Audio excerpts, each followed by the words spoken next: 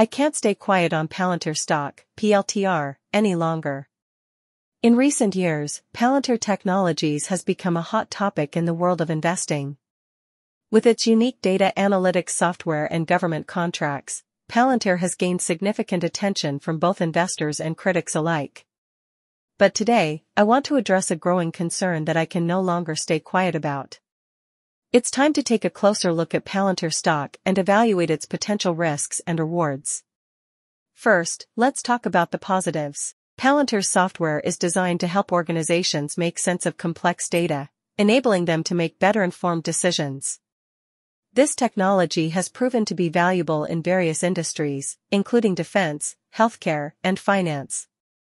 Palantir's software has revolutionized the way we analyze data. It has the potential to uncover valuable insights that were previously hidden, allowing us to make more accurate predictions and improve operational efficiency.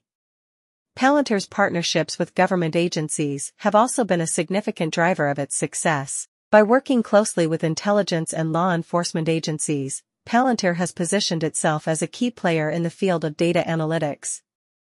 However, it's important to acknowledge the potential risks associated with investing in Palantir stock. One concern is Palantir's heavy reliance on government contracts. While these contracts provide a stable source of revenue, any changes in government spending or regulations could impact the company's financial performance. Another concern is the growing scrutiny around data privacy. As Palantir deals with sensitive information, it must navigate the ethical and legal challenges associated with data collection and usage.